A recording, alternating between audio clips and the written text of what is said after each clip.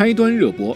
除了赵今麦和白敬亭两位主演的精彩表现，还有一个非常重要的角色也很受大家的喜欢。如果有一天您收到一个陌生人发来的短信，上面说有一辆公交车马上要在二十分钟后爆炸，您会相信他，然后马上出警吗？我会毫不犹豫的出警。这是我们做警察的意义。每次时间循环中，张警官都表现得最可靠，并且尝试相信女主的说辞。让紧张追剧的观众稍感欣慰。你不会相信了吧？那你告诉我，他们撒谎的动机是什么？嗯？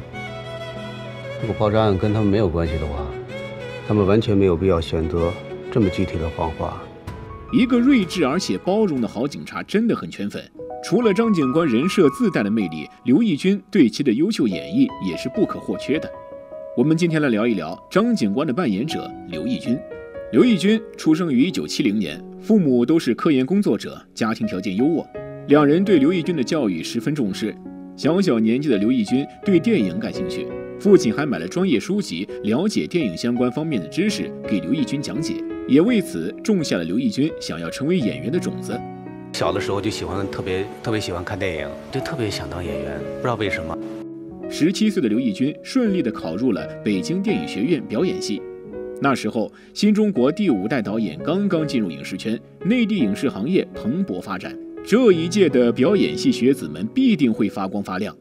在北电里，刘奕君遇到了最好的朋友们：张嘉译、王全安、管虎。那时候，四个人都不知道自己的未来如何，大家还都是晚上没饭吃去老师家蹭饭的穷学生。长相清秀的刘奕君最先遇到了自己的机会，被《女贼》的导演看中，邀请他出演男一号。刘奕君在其中尽力表现，可惜女贼送审被毙，刘奕君的第一部电影没能上大荧幕。虽然女贼没有结果，但是不久之后，刘奕君又被洛山峰导演选中，和当时大火的大宋家打戏。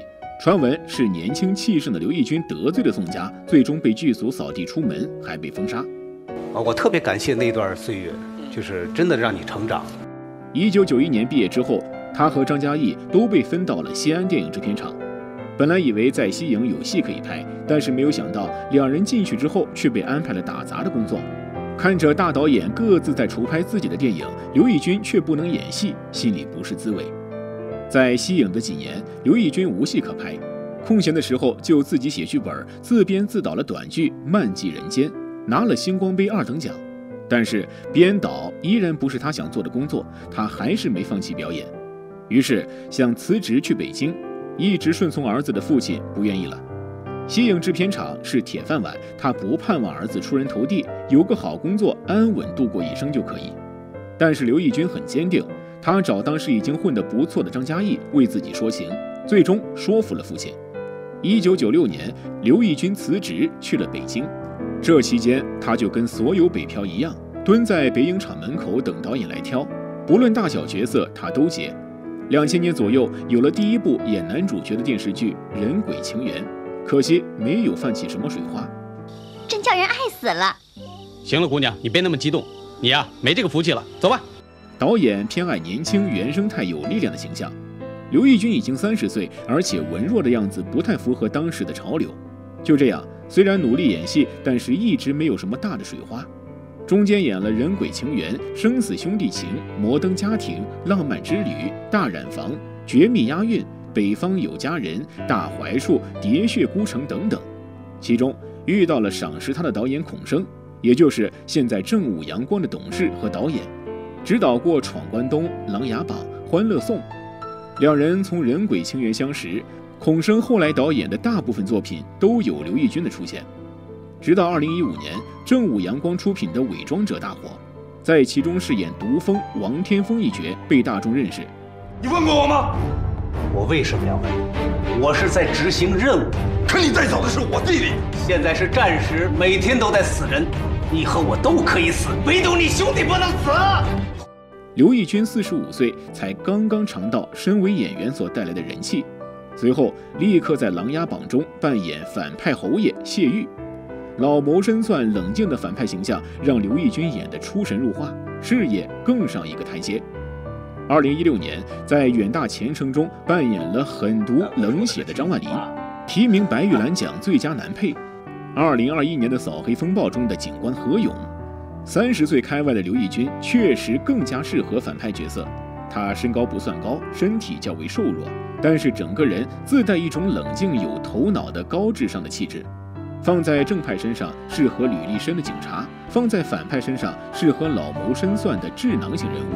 这也是他一直以来接角色的特点。演技方面也是毋庸置疑的。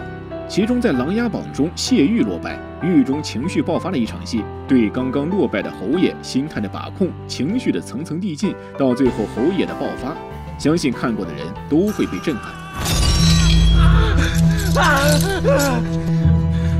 没长苏，梅长苏，我跟你何怨何仇？你要害我到如此地步？《扫黑风暴》中的何勇警官，他对于角色的特点拿捏得很准。警察的不怒自威，面对李成阳的心理攻防，他的情绪变化是很容易被观众理解和体会的。他可以将角色的情绪和心理变化通过自己表演完整的传达给观众，这无疑是一个资深演员功力的体现。现如今，他的演技已经获得了大众的认可。刘奕君二十七岁与第一任妻子结婚，第二年生下儿子。但是当时的刘奕君境遇不佳，很快两人就因为矛盾太多，感情破裂离婚。后来经人介绍和一个公司高管相亲，最终结婚，又生下一个女儿。谈起儿子也想进入演员行业，刘奕君感叹：一开始他是不支持的。沉寂十几年，他太清楚一个演员的成功有太大的偶然性，没有好机会，可能一辈子都籍籍无名。但是儿子坚持想学表演，他最后也选择了支持。就像他当时坚持辞职去北京一样，面对着跟当时的自己一样坚定的儿子，他也做出了跟当时自己的父亲一样的选择。